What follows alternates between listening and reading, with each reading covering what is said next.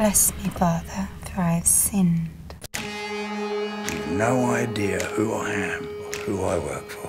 Au contraire, I know exactly who you work for. Okay, what do you want? You want money? You can take it. Say whatever you want. Oh, well, that is a very poor choice of words. I don't think you're supposed to smoke in here. Guess I've sinned again then.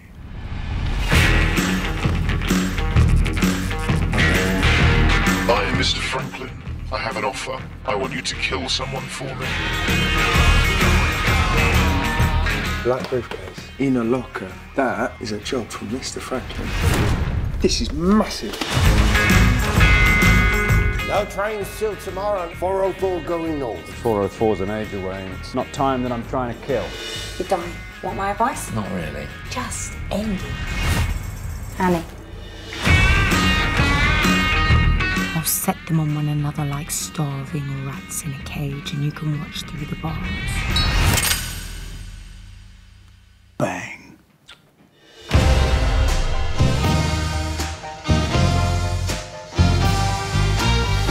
I'm here for information. Maybe a filthy lap dance if I can get one.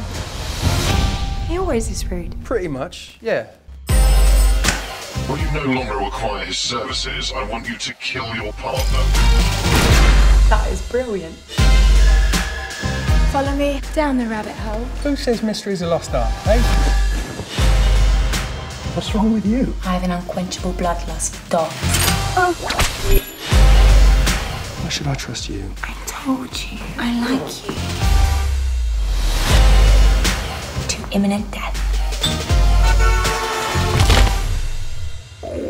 Now, I have a problem with that.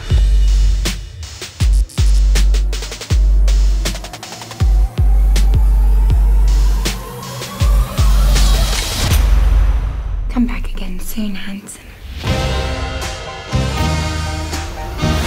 Don't bring